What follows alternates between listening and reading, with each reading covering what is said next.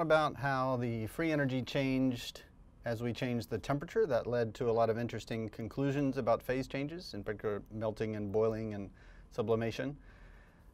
Free energy also changes in response to changes in pressure. So it turns out when we think about how uh, those two quantities are related, it will also lead to some interesting conclusions about phase changes. So if we first think about how free energy is depending on pressure, we have this fundamental derivative. The derivative of the free energy with respect to pressure at constant temperature is the volume.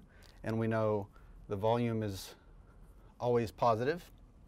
Nothing can have a, a negative volume, can't take up negative space. So that slope is always positive. The free energy will always increase as the pressure increases if we do it at constant temperature.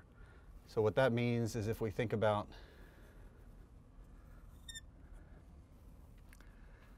curve of how free energy depends on pressure, that curve is going to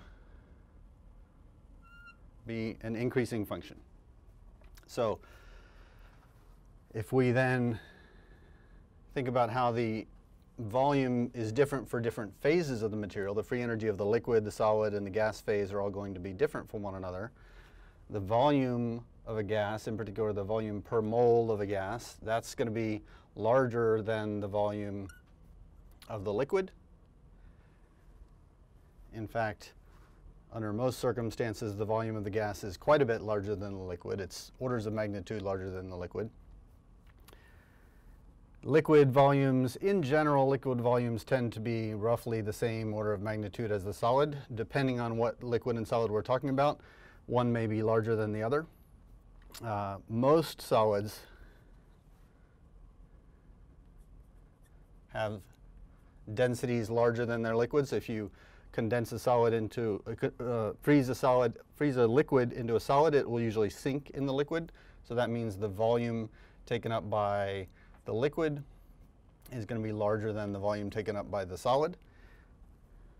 That's not always true, however. You can probably think of at least one liquid where if you freeze it and make a solid, the uh, solid will float on top of the liquid, and that would be uh, the opposite situation.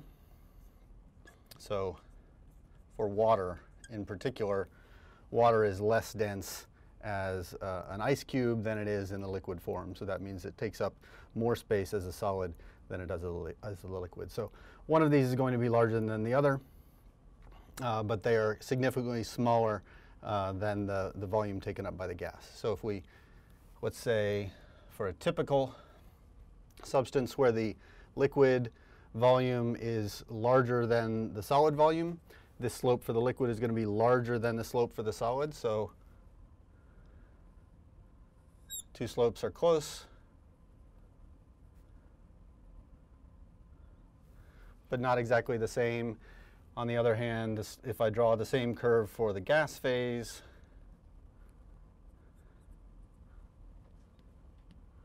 the slope for the gas curve is quite a bit different. That's a positive slope, but it's a, a large positive slope compared to this relatively moderate slope for the liquid. So this would be what the free energy as a function of pressure curves look like for three different phases, the gas, the liquid, and the solid, for a typical substance whose liquid is, uh, takes up more volume, is less dense than the solid. So this tells us the same type of thing that we saw when thinking about how the free energy changed as a function of temperature. There's three curves, one for each different phase. The most stable phase is going to be the one with the lowest free energy. We know uh, uh, uh, any substance will spontaneously change to the, the, the, phase with the lower free energy. So the, the one with the lowest Gibbs free energy will be the uh, stable phase. These would be uh, either unstable or perhaps uh, metastable phases. And then we have, at points like these, phase transitions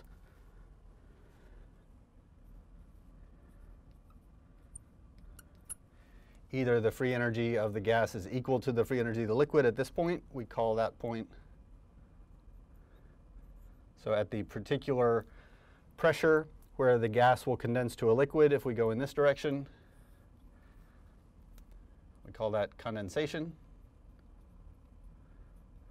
Or if we go in this direction, evaporation. So I can either take a gas, increase the pressure until the point that it condenses and becomes a liquid, or I can take a liquid and decrease the pressure until the point at which it evaporates. We don't call it boiling because we haven't done it by uh, raising the temperature, we just call that evaporation. So this pressure at which that takes place, we could call that the pressure of vaporization, or more commonly, we'll indicate that as P with an asterisk over top. That's called the vapor pressure of the substance. So the vapor pressure is the pressure at which the gas and the liquid are in equilibrium with each other. There's also an equilibrium between liquid and solid. At this point, free energy of the liquid and free energy of the solid are equal to each other. That point, it, uh, certainly there is a pressure at which that takes place. That one's not as commonly discussed. There's not a, a terribly common name for that pressure at which we can convert the liquid into the solid. Let me uh, point out one additional feature for these curves, the way we did for temperature-based phase transitions, and that is if I'm not going to draw these curves as a straight line, if I'm going to draw them with some slight curvature, as I tried to do for this gas curve, what should that curvature be?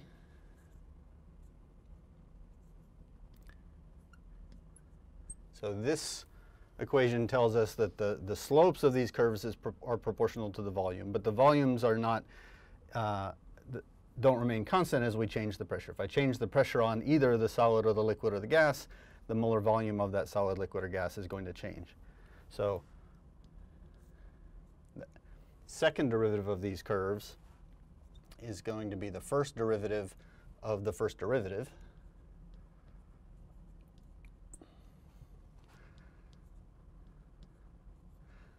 The first derivative is the volume.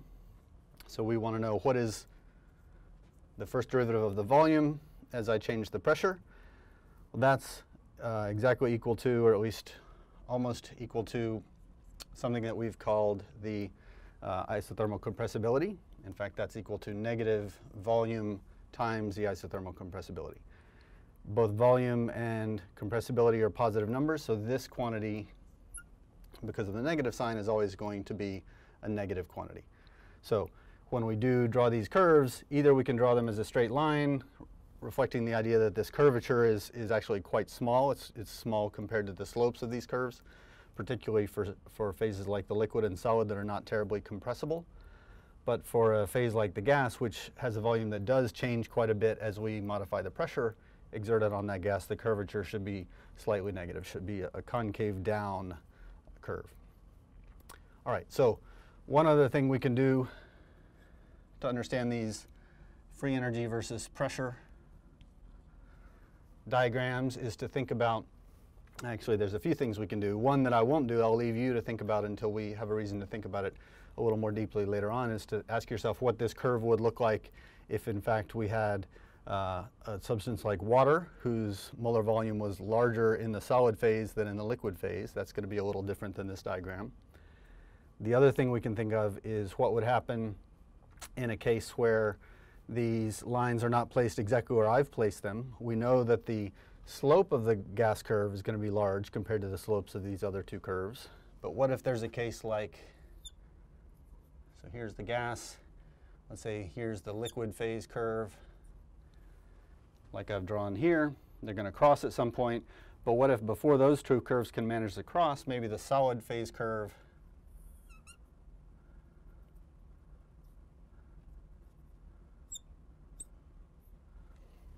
crosses the gas phase curve below where the liquid phase curve is. So in that case, remembering that the stable phase is always the one with the lowest free energy, at low pressures below this phase transition uh, phase, uh, phase transition pressure. Below this pressure, the stable phase is the gas. Above that pressure, the stable phase is the solid. So now, rather than having a gas that condenses to form the liquid phase when we increase the pressure on it, we have a gas that will condense to form the solid phase when we exert pressure on it. Or vice versa, if I have the solid, most stable phase at high pressure, if I decrease the pressure on that solid, it will evaporate and become a gas without ever passing through the liquid phase. So that's a process we call sublimation when uh, the solid and the gas are in equilibrium with each other. So this pressure at which the solid and the gas have the same free energy as each other, that would be the sublimation pressure. Uh, we can still call it a vapor pressure, but now it's the, the solid phase that's sublimating to become the gas rather than a liquid phase that's evaporating to become a gas. Uh, so now we understand both how the free energy changes as a function of temperature as well as how it changes as a function of pressure. So that leads us to the conclusion that we really have to be thinking about how free energy changes as a function of both of these variables at the same time, and that in turn will lead to some more interesting conclusions.